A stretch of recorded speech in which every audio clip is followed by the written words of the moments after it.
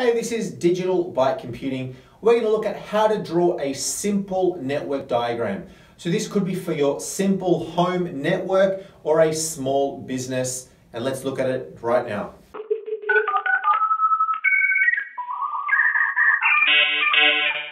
So when you're designing your network, always think about every single device that you need to have in your network. So if we're looking at a home network, you're going to have some form of a router, you're going to have maybe some sort of a device that you can plug devices into, whether if it's a switch, you're going to have maybe some sort of wireless device, which most places will have, which essentially lets your computers and your phones and everything connect to your network over the wireless.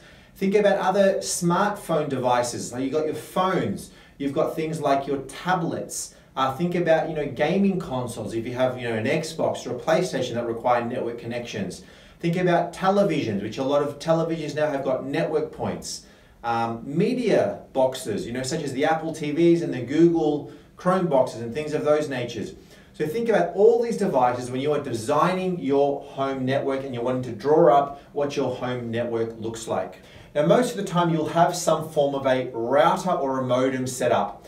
Essentially we're looking at a router which routes traffic from your internet to your internal network. So connected to your internet, will be a router. All right, we're going to call this router 1. This router 1 will be connected to the internet via perhaps via a phone line, via a cable connection, via a fiber connection, some form of connection out to your service provider. So your service provider would, props, you know, would set you up with an actual account to be able to go out and access the internet and that intermediate device between the internet and your internal network will be this router. We're looking at a very simple, simple setup. Some routers may have network points connected to them directly. So there could actually be on your router some network points or you can have devices plugged in via cables directly into the router. So you may have a router that is wireless also, which will play the same way. Instead of having to plug in via cables, that can actually broadcast your internet network out to the rest of your computers over wireless. So let's just say your router has some ports available where you can plug devices into it. So you could have your computer that is connected directly into your router. You could have another computer that is connected straight in, and you could have a television that is connected straight into your router. This is assuming that your router has network points directly plugged into it. Let's use a scenario where your router is also wireless. This has now become a wireless router. So I've still got my connection running out to the internet. I've got some points on here where I've got a computer that doesn't have wireless is connected in here. But now my router is also broadcasting a wireless network where I can have perhaps a phone. I could have another computer that is now connected wirelessly to my router. Let's just go back to the drawing board. I've got my router and there is no wireless on it. There's perhaps a network point that I can um, you know, use some devices into it, but I don't have enough ports. I've got a lot of devices out on my network and I need to somehow hook them up to, to communicate with this router and then communicate out to the internet.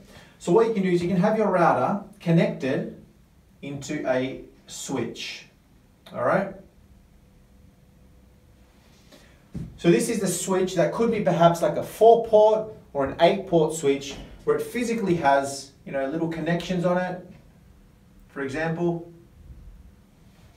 And now devices can plug in to your switch which in turn is connected into the router, which in turn goes out to the internet.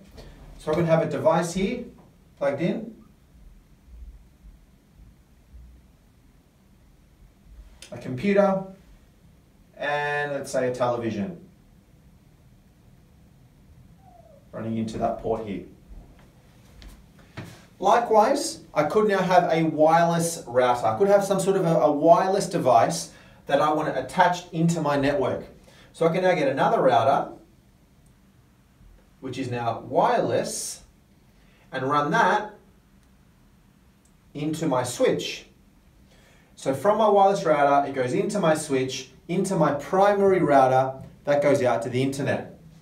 This wireless router now broadcasts a system, a wireless connection out to my other devices. All right, whether to my phone, to my iPad, you know, whatever it may be, will now communicate via the wireless router, connected to my switch, connected to that router, and out to the internet. So that is my overview. Would love it if you commented below and let me know what you think and give me a thumbs up as well if you found this helpful. So if you found that video helpful, please like it and subscribe to my channel Digital Byte Computing just on the button there for more videos.